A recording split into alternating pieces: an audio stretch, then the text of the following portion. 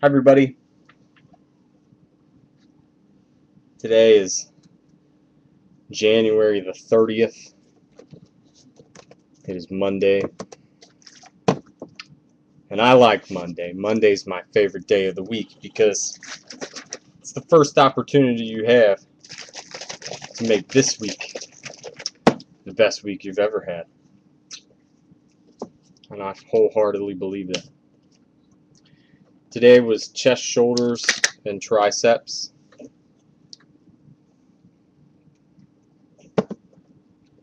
Week seven, day one. And uh, boy, did I feel good.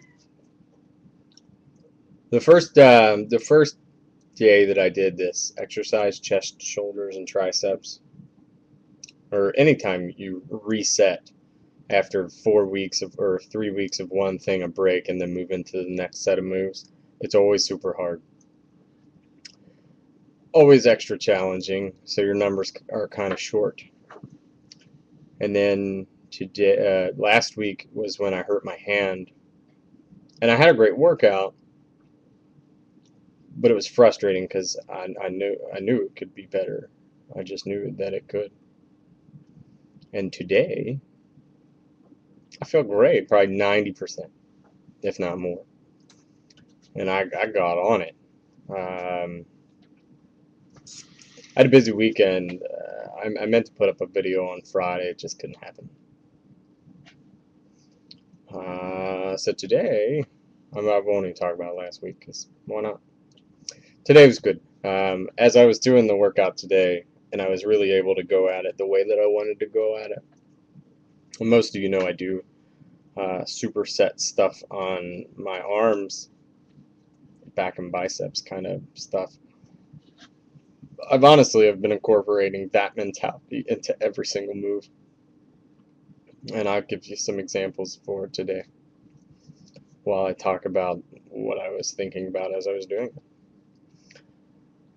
it. Uh, things happen and I just I, I read groups of things at different places and when they all kind of meet at a point I tend to listen. And for the past few days even back as far as last week I've been reading about time under tension or TUT or tut or toot depending on who's saying it.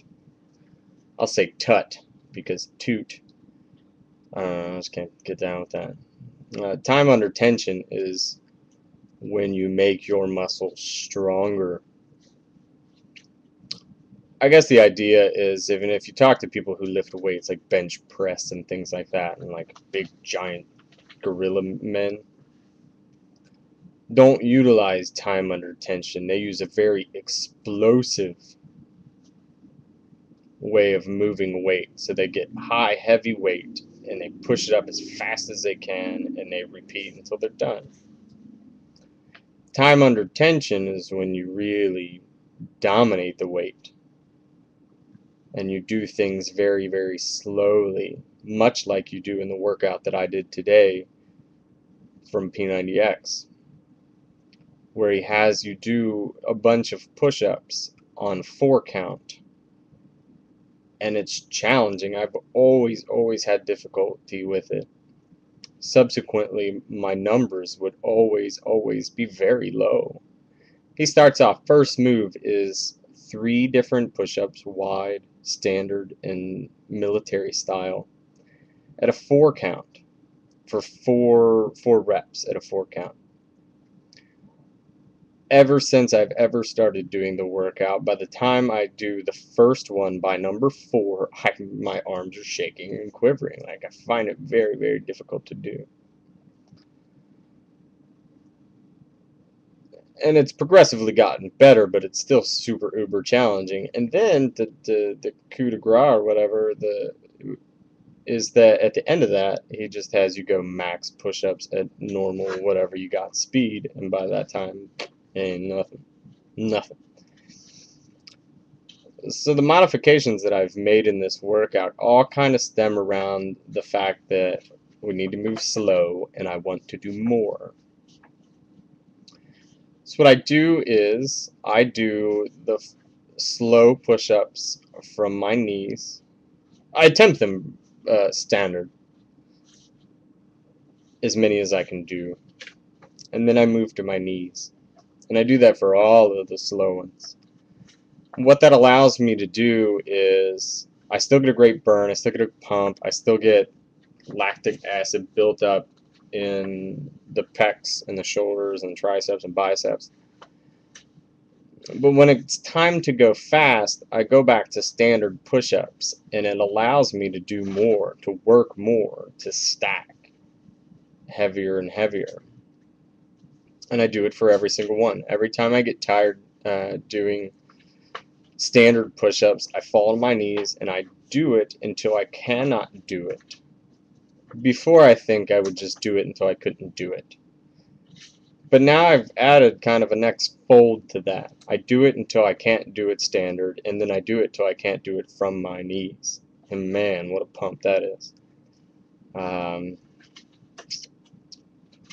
as far as the, the, triceps go, the only real modification that I make is I don't do side tri rise. I do chair chair dips twice in a row, taking a you know because uh, that that move is long, and I just don't care for that move. I don't like.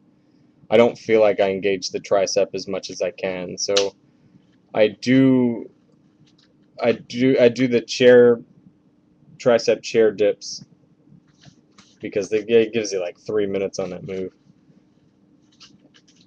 I do them. I take a rest while they're racking out a million or whatever they're doing, and then I, I, you know, catch a water, catch my breath, reset, and then I do it again.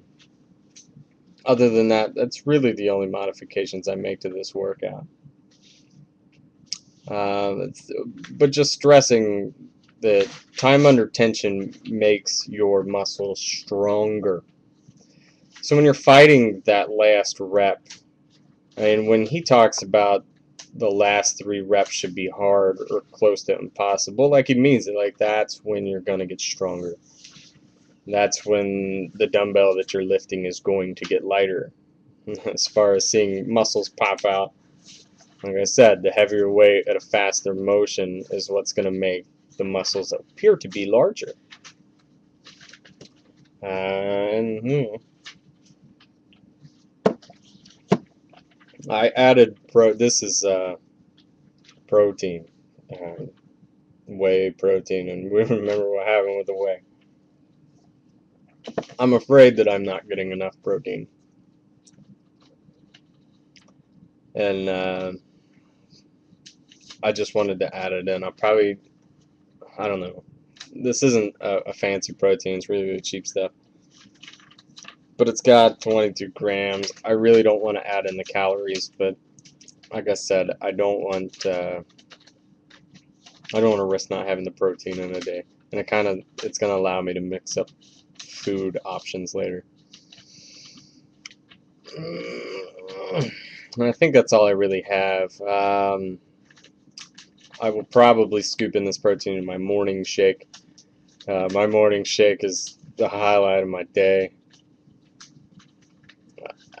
there's cool stuff in it. Uh, and Kaz gave me an, I think it was Kaz, um, told me to add parsley into it for added energy. And I did that, and I did it for a, a week straight, uh, five five days straight, and then I ran out and I never replaced it, so I had it for a week without it. And I don't know if there's energy in parsley, but what I will say is in my shake, I'd much rather have it in there than to not have it in there. Because it's delicious. You want to say it? You want to say my end thing? You know what I say at the end of my videos? Come up here and say. You gotta give him the big old peace sign too. It's 513 Kid Wiggle.